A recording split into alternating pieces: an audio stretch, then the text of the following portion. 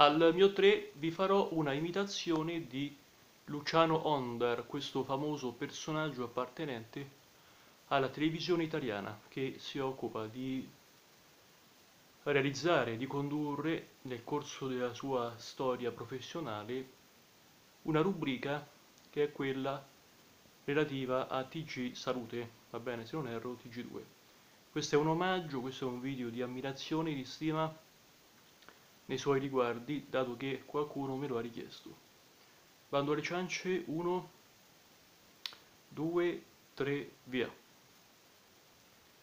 L'argomento di oggi è quello relativo al cosiddetto coronavirus. Il coronavirus è un virus che fa paura, che spaventa un po' tutti, nessuno escluso. Ne parliamo oggi con il virologo, il dottor Roberto Burioni, capo della Università Italiana.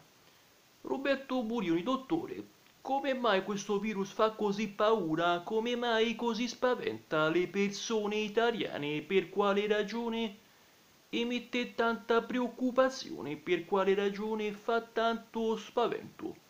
Sappiamo tutti che questo virus può spaventare soprattutto le nuove generazioni ma per quale motivo c'è questa paura, quel senso di spavento che coinvolge tutti? È vero, dottore, che questo virus può addirittura arrivare tramite goccioline di saliva oppure è una bufala quella?